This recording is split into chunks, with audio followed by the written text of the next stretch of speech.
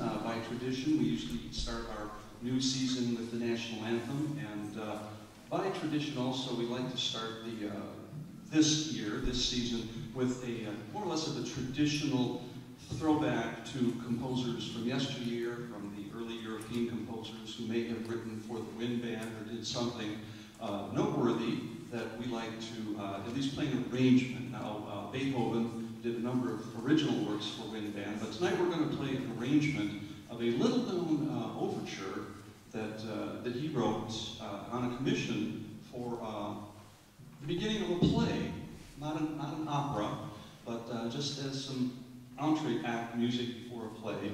And he has called it the King Stephen Overture. It's a wonderful transcription by our dear friend Lucien Cailliet. Here's the Beethoven King Stephen Overture.